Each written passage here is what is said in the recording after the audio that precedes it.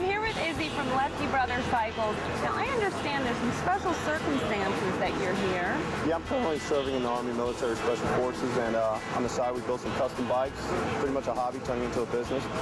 Tell me about the bike. We're, we're running about a 21 on the front and 120. Uh, our front ends, we actually get the pieces machined out, we put them together. Tank or hang bang by ourselves, our handlebars all the way to the seats of the rear fender. In the rear, we're running a 300 rear tire with a 100 cubic inch engine. Izzy, I you have some pretty nice engraving going on there. Why don't you tell me a little bit about that? Actually, the engraving is done by a gun engraver. His name is Otto Carter, does great work.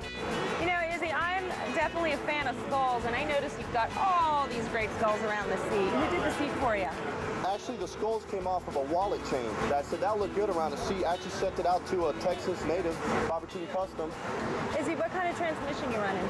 We're running a uh, accessory unlimited six-speed transmission with a three-inch BDL on it. Well, thanks for being with us today, and I wish you good luck on the build-off. Thank you, Michelle. Izzy didn't need any luck from me. He took top honors.